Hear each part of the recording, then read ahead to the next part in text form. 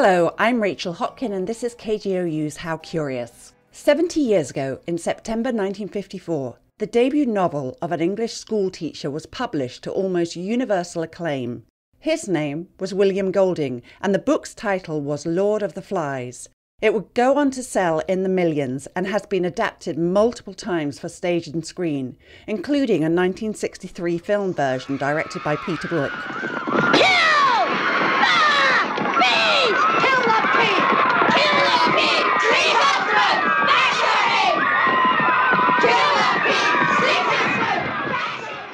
Golding's fictional account of the rapid descent into murderous savagery of a group of stranded schoolboys was, he believed, a depiction of how children really would behave in such a situation. By contrast and coincidence, just three months before the novel's publication, a landmark psychological study that has been described as a real life Lord of the Flies was taking place in an Oklahoma state park. But although the Robbers Cave experiment was also focused on a bunch of schoolboys, and there certainly were outbreaks of intense animosity among them, it actually offered a very different perspective on human nature from that of Golding. The man behind the experiment was named Muzafer Sherif. Gina Perry is a science historian. She's written a book about the Robbers Cave experiment called The Lost Boys. Lord of the Flies really reflects Golding's view of human nature, which he regards as innately evil. Sherif's view was the opposite, and that is that evil behaviour is manufactured by the groups that we belong to, and that we can both make it and dissipate it. So Sherif's view was much more idealistic. Muzafer Sherif was born in 1905 in the Turkish province of Izmir. Muzafer Sherif grew up in Turkey during his childhood. He was actually living in the dying years of the Ottoman Empire.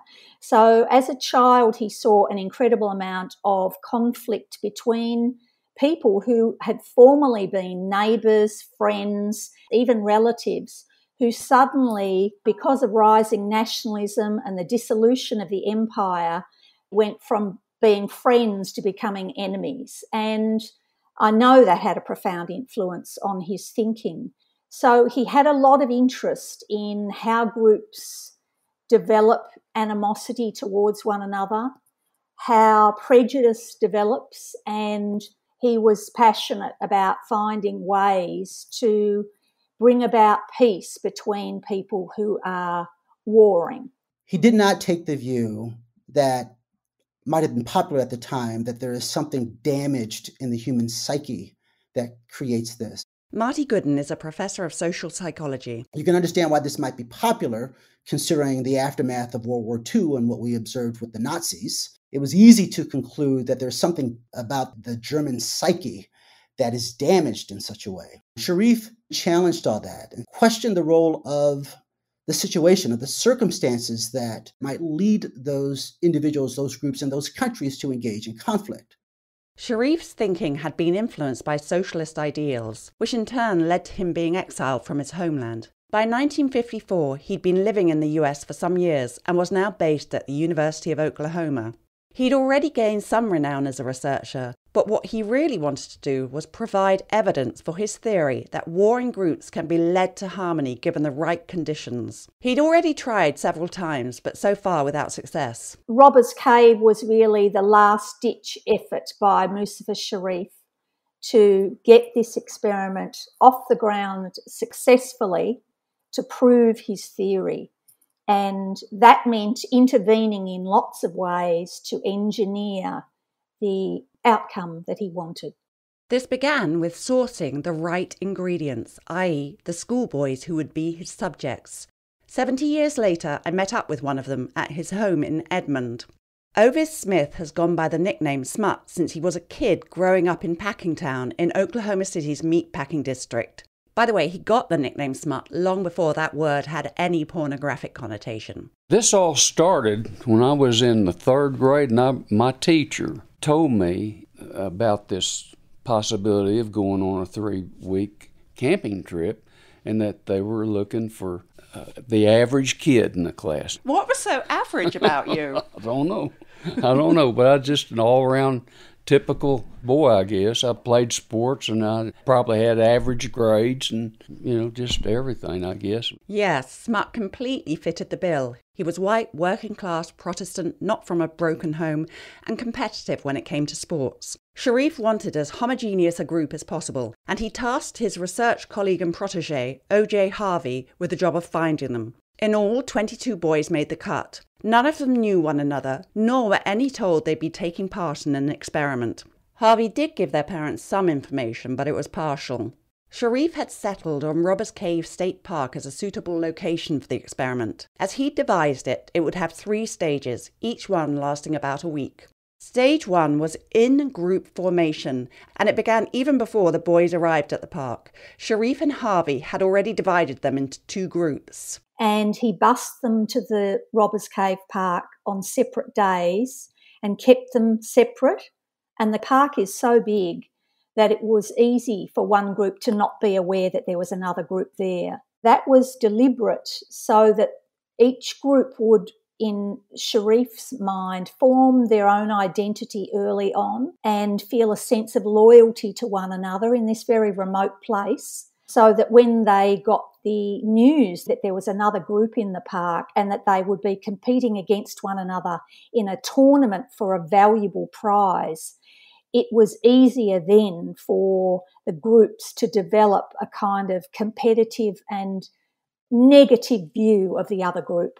During that first week, each group chose a name for itself. One decided on the Rattlers, the other the Eagles, and each created a group flag and in each the boys quickly felt themselves to be part of a loyal band of brothers.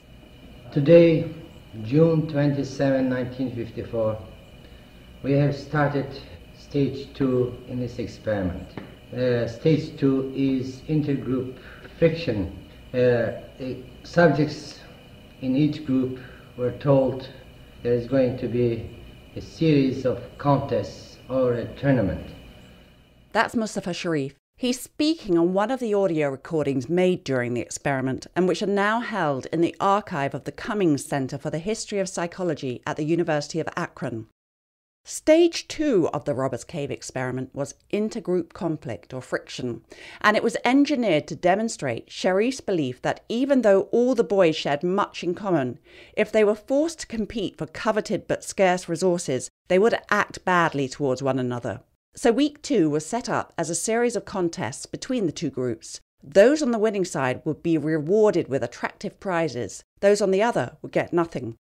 In the following archive clip, you can hear two of the researchers disguised as camp counselors making absolutely sure the boys knew what was at stake.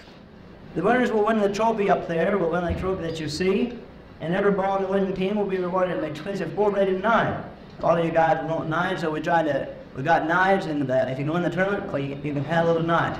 There are many things about the Robbers Cave experiment which would never be allowed now, including giving knives to 10 and 11 year old boys. Remember that the only way that you can win them is for you to be on the winning side. Now, fellas, what do you think about that? Win! What are you going to win? Everyone. Everyone. We're going to win the trophy, knives, and the medal. Good deal, all right? Do your best with teamwork. Okay.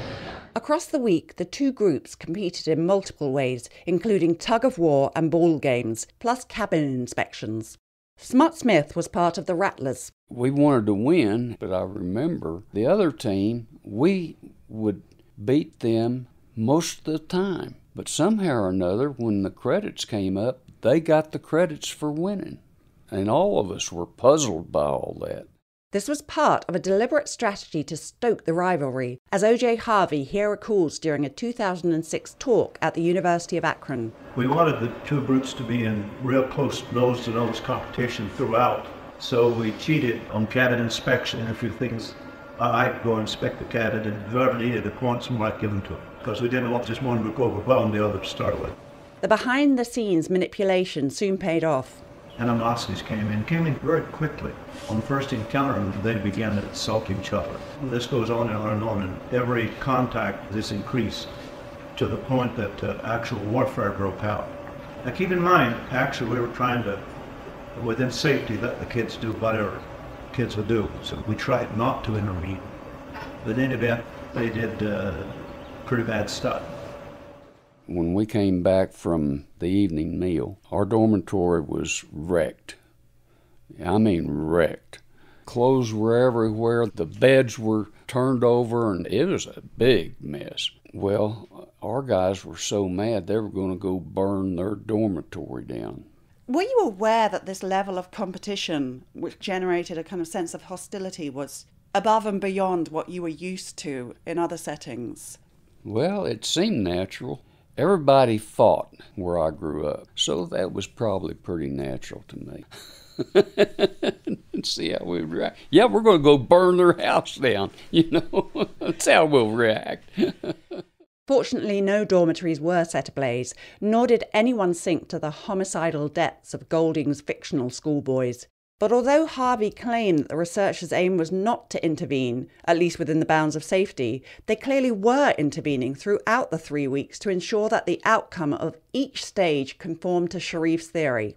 It was very important to Sherif that there was a complete breakdown between the two groups because the final stage that he'd never been able to reach before was one where he could actually have people who had hated and belittled one another working together in harmony and feeling positive about one another. But he couldn't reach that final stage unless he had war at the stage before. This is stage three, day three. In five minutes, the rattlers and the eagles will come to this mess hall as a superordinate goal. The getting of uh, two films will be proposed to them. The final and perhaps most significant stage of the experiment was conflict resolution. Here's Marty Gooden again. What Sherif understood is that if we're going to bring these kids together, we need to have them doing something that is of mutual interest, that they mutually value, and that can only be satisfied through the collective participation of everyone in the groups. And so he came up with this idea of what are known as superordinate goals. So these are objectives that are mutually desirable, that can only be attained if you have participation from everybody involved. And so they supersede the other interests that they might have as individual group members because everyone needs this. Sherif and his colleagues designed a series of these superordinate goals. The one you heard Sherif just mention concerned a movie night. The boys were allowed to pick a film to watch. They opted for Treasure Island. However, they were then informed that the camp did not have sufficient funds to pay for the film and that both groups would need to chip in with their own money to secure the viewing. After much discussion, they agreed. Gina Perry told me about another one of these goals. The men call them together halfway through the morning and say, We've got a problem we can't seem to work out what's wrong with the water supply. So the boys form a line running from the water tank, following the pipe down the hill, and they look for where the problem in the tank might be. Initially, they're working in two separate groups. They find that the pipe has been buried under rocks. They realise that in order to carry away all these rocks, they have to work together as a single group. And by the end of that exercise, they're trading jokes and that hostility is breaking down.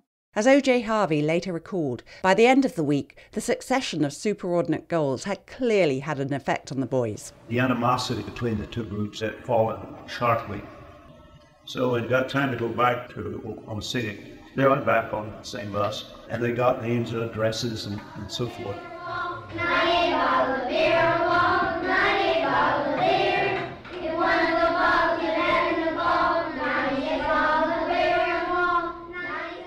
It is a very positive message about the power that we can have to break down prejudice between groups. How realistic that is, I don't know. OJ Harvey was also reflective on this point. I can't stress too much the significance of superordinate goals. It's easy to say but hard to do. And uh, we had real trouble trying to figure out common goals to use. And a lot of people I get letters to say, if that could be applied to a nation now and such, well, I don't know. I, I honestly don't know. I know if we could make a difference, but it's not easy. Marty Gooden, on the other hand, is more optimistic. I would say that the findings, the implications of Sherif's work are definitely being practiced today. Maybe we don't see it as much as we should within government, but international organizations have to rely on cooperation in order to function. You know, the COVID vaccine and the ability to be able to address that pandemic could not have happened without global cooperation. Mustafa Sherif died in 1988, OJ Harvey in 2012. If the two men had been working together today, they'd have had to find very different ways to conduct their inquiry, as there are far stricter rules in place. When Gina Perry was working on her book about the Robbers Cave experiment some years back, she interviewed a number of men who, as boys, had been the subjects in Sherif's study. None of them knew they'd been part of an experiment until Gina told them, and some still recalled with distress the events of the intergroup conflict stage. However, when I asked Smut Smith if he'd been upset when he found out he'd been used in this way, his response was this No, not a bit. Not That a bit? It didn't matter to me. I mean, so what? you know? I mean, I would have found the conflict set up between the two groups. I know that it would have terrified me. Um, it doesn't sound like it had that effect on you. You don't seem to feel like you suffered any ill effects from it. I don't remember being terrified of anything ever. I mean, That's probably why you were a good candidate for this experiment. I remember it was a fun three week free trip. And most kids in our neighborhood would never have been able to afford a trip like that. And I just felt real fortunate that I got to go on that. Smut Smith remembering his experience of the Robbers Cave experiment 70 years on. A huge thanks to Smut and all the contributors to this episode. Thanks also to Mauricio Cavallo, Nick Daniels, and Christian Dietmeier. And to the doctors Nicholas and Dorothy Cummings Center for the History of Psychology at the University of Akron, which supplied the audio archive material used in this episode, plus some photos taken during the experiment, which you can see on our webpage. Search for KGOU and How Curious. I'm Rachel Hopkin, and this is a KGOU public radio production. The managing editor is Logan Layden, and David Gray composed our theme music. We love getting listener suggestions for How Curious subjects, so if you have an Oklahoma related question or idea, please send it in via curious at kgou.org.